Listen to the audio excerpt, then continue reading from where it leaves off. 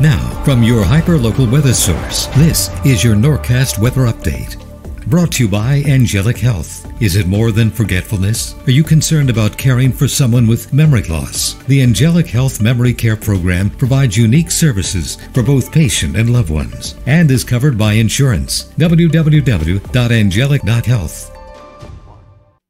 Well, here's today's WTF Index, water, tan, and fly. We still have that moderate risk of rip currents as that cold front starts to move away, so it is still kicking up the oceans a little bit, but I think rip current risks will start to come down as we head into the week.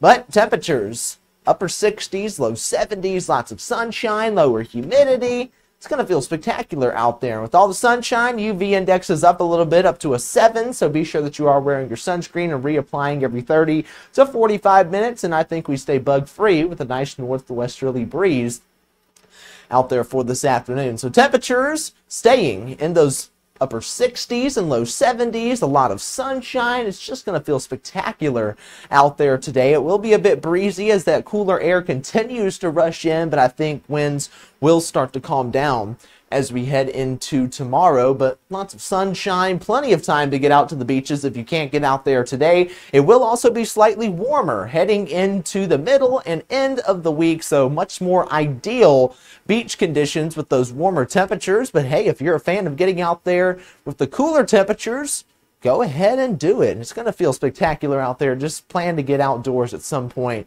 during the week or next weekend because you cannot beat this beautiful weather.